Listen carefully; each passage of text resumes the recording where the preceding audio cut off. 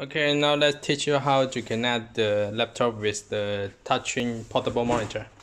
Okay, this is the HDMI, HDMI of the laptop. Connect it first. As you can see, HDMI to HDMI of the monitor This is the HDMI port of the monitor. See, HDMI port.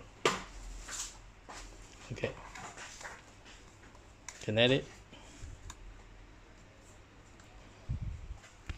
Connect it tight. Okay.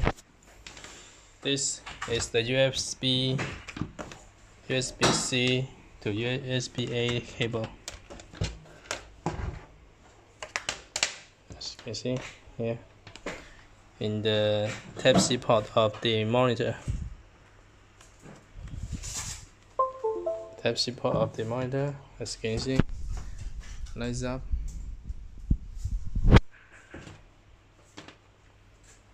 Connect it tidy.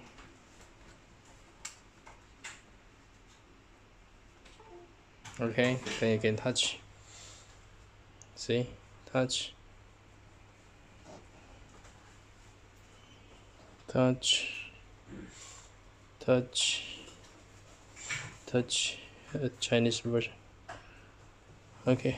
Close it. And let's play the video. Play the video.